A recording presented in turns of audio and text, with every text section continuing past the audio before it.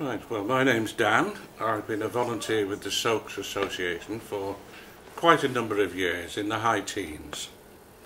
And I work in a communication support group on the Wirral. However, I am also an awareness volunteer. And when I wear that hat, I travel about the northwest of England raising awareness about stroke in that work I have met some wonderful people and conducted many blood pressure tests and on a number of occasions people have said that they didn't know they had high blood pressure and uh, when they had it checked they went to their doctor and presumably strokes had been prevented. They say they, they, some people say, "Oh, you saved me having a stroke by doing my blood pressure." It's vitally important that people have their blood pressures done uh, and keep it under control as, as high blood pressure is one of the biggest causes of stroke. So you would say then, then, then Dan, that your, your victory as a volunteer is making people aware of the cause of stroke? Well, as an awareness volunteer, it's almost impossible to measure the degree of success mm. or to to claim any victories.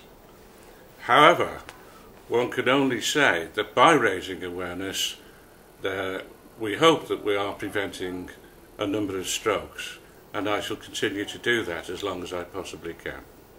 My name is Morag Montgomery, and I live in Formby on Merseyside. I was unfortunate enough to have a heart attack and a stroke in the one day four years ago, and my achievement at that time was just to be well enough to come home and live alone.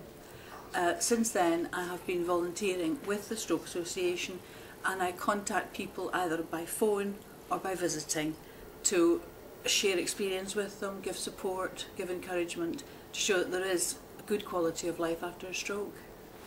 I know what it's like because I've had three strokes. Yeah, okay. I mean, the first one I don't know when I had the first one. Uh. The second one I know exactly when I had it Yeah. Because I was in Broad Green Hospital having an angi angiogram.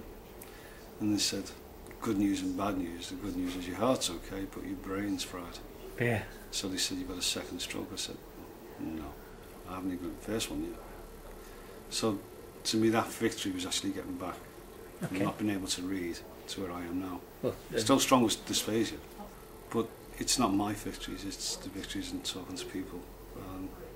How to relearn to write, how to relearn to speak, how to relearn, most importantly, to get their own confidence back in themselves.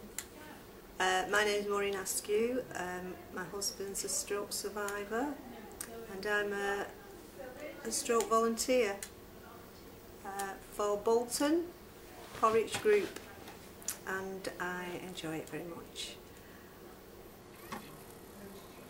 I got involved because of my husband's stroke and um, um, I just think the victory is that he survived it and he's, he's back at work. And from a personal point of view, Maureen, sorry, you told me about the allotment. Is that something? Yeah, we've got an allotment. We've been offered an allotment and it's, it's built onto the school and it's uh, wheelchair friendly and it's, it's lovely. It's got everything we need. Um, I've just been waiting for the bad weather to get over that patch, you know, because mm. they do feel the cold, the stroke survivors. Oh, yes. And um, on Monday, we're going to go up there and, and decide who's going to do the project, and I'm going to run it. So. That sounds like a volunteering victory. It's victory for me, yeah. My name's Andrea. I had a stroke 14 years ago, just after childbirth. Um, I'm a volunteer for Liverpool North and South, and I run the coffee morning for Liverpool. And I think the biggest victory was being able to look after my son six months after the stroke when I was discharged from hospital.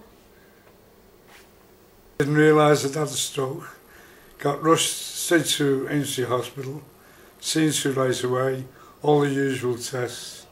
Then when I was allowed to go home, found I was tired all the time, but things got better. And then when I finally went back to work, I thought, well, I've got to do something. And I don't know what it was, something came through the post about stroke. a leaflet, rang and that's how I became a befriender. And I go and see people now, and I can tell them what I was like at that stage, and look at me now. And it gives them a lift, and it also gives me something. I enjoy it as much as they do.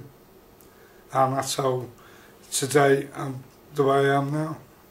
Uh, I'm Linda Chavot and I had two strokes when I was 34. One was a minor stroke and then they sent me home from hospital and I had a major stroke through the night. Uh, thank God I'm, I'm nearly better now. I've um, been going to the Stroke Association for nearly two years and I say to them, don't look back, look forward. Okay, and have you got a, a particular victory as a survivor or as a volunteer? Yes, I, my my uh, victory is being with my family still. My name's Anne Warburton um, and I had a stroke in 19th of May six, six years ago. So um, I had a very, very bad stroke apparently. They told my family that if I get to 70 hours then we're on to something. After that they trained me, the physios got on to me, occupational and um, I'm strong now, it's five years and I'm looking after other strokers coming back in, showing them what to do, maybe if I can help them, I do. Okay, so what would be your biggest victory as a Oh, stroke be- survivor? Becoming um, a volunteer and helping what knowledge I've got and relaying it back. We have fun. Um, my name is Miriam Hampson. Um, I had a stroke four years ago. Miriam, what would you say is your biggest victory since having a stroke?